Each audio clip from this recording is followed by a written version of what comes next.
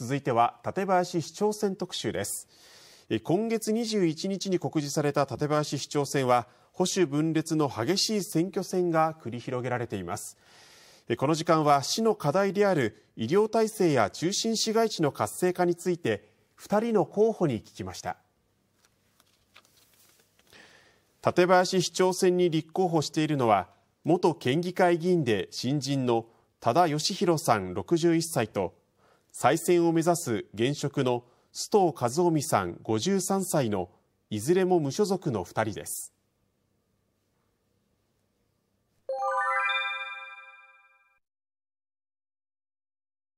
やはり生命を守る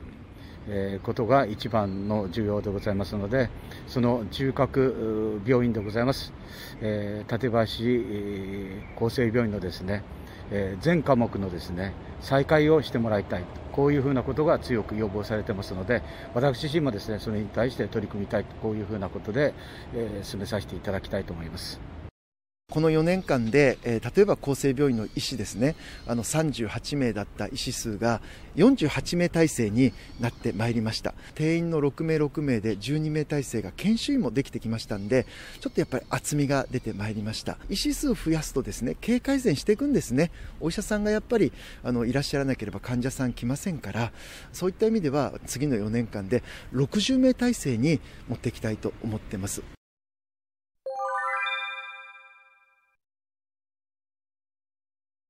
今現在、え中央通り線というふうなことで、え拡幅工事をされてますけども、え南北のですね移動帯の中心都市で中心の、えー、商店街でもございますしそこに住まれている商店街が元気ではなくちゃいけません、えー、そんな中でですね、えー、撤退をするまた廃業をするとこういうふうなところが多いとこういうふうなことを聞いていますので、え市内にですね、え生活に必要な店舗なりものがなくてはならないということで、え誘致をしたいというふうに思っています。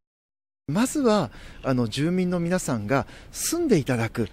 街中渡良瀬とか利根とか仮に氾濫したとしても街中は水が来ないんですね。だからここはやっぱり住む場所居住空間でありますんで新年度からあ実はあの市外の方がお引越しをして町家を建てる場合には最大50万円の補助。市内の方でも賃貸住宅などねお借りしている方が街中に家を建てる場合にも50万円の補助。そんな制度をやってます。居心地のいい歩いて楽しいオーカブルな街づくりということを取り組んでまいります。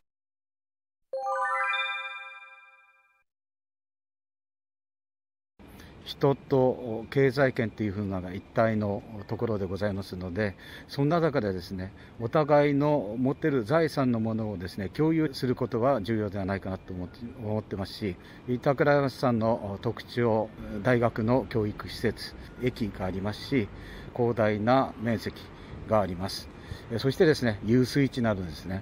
ある意味ではですね館林も里沼とこういうふうなことは申しているようでございますが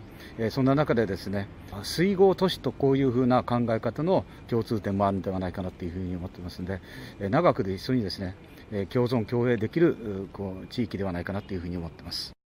コロナ禍で全国の自治体の首長はやっぱり住民の皆さんのこの命、健康、暮らしそして地域経済、地域社会をいかに守っていくのかってことにやっぱ注力してるんですよ。合併するなんていう余裕はないんですよ。板倉町さんのあの合併の条件といたしましては今まで板倉町の住民サービスを一切落とさないとおっしゃってます、まあ、これはね向こうの町の考え方ですからそういうことなんだと思うんですよ。合併って持続可能なために財政的にもコスト削減ができるからっていうのが本当は理由じゃないですか。しかしコストアップになっちゃうんですよ。そうするとね、赤字合併になっちゃうんですね。これに対して私は明確にノーと申し上げたいと思ってます。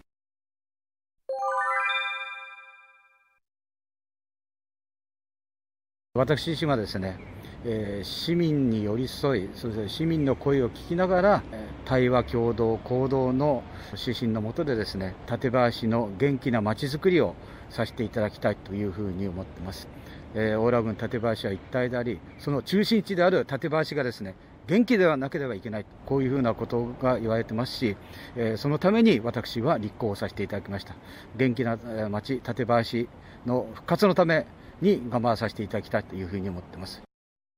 市民共同のまちづくりというのは、まずはもう選挙の一票を駆使していただくことが市民共同のまちづくりのまず原点、出発点なんだと思うんですよ。で、この街をやっぱり元気にしていくためには、やっぱり投票、ね、投票行動を起こしていただいて、皆さんがまちづくりに参加する。そしてできればね、あの投票率50%ぐらいいくようにね、みんなで元気な街作りたいと思ってますよ。市民の皆さん、ぜひね、よろしくお願いいたします。